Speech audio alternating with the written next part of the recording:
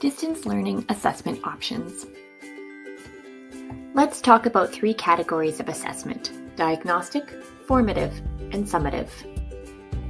Diagnostic assessments are pre-tests that identify what students know about a topic or identify their current skill level. These are done before or at the start of a course or module.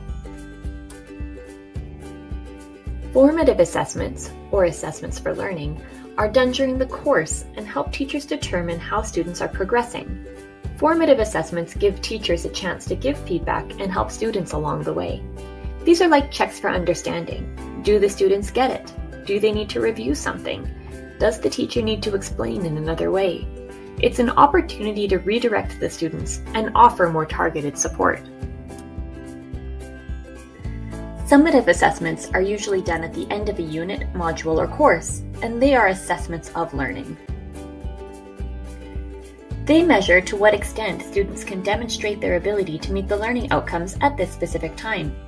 They are used by teachers to provide a final grade to students, but they also give teachers information to help them revise how they taught the module or course. It helps them, the teachers, make a better course for the next group of students. There are lots of assessment types, and they typically fall into open or closed questions. Closed assessments have options students pick from multiple choice, true false, check all that apply, ranking.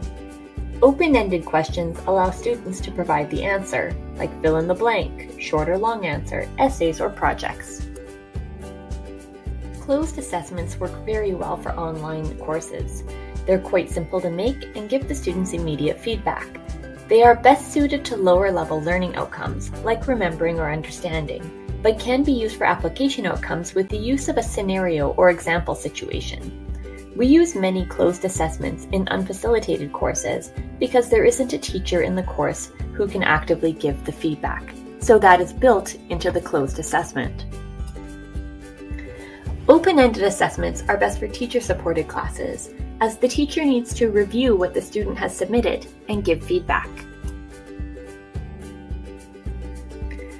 In all cases, feedback is the most important part of an assessment. Students need to know how they did, where they're struggling, and they need guidance on how to improve. And teachers need assessments to help them improve as educators.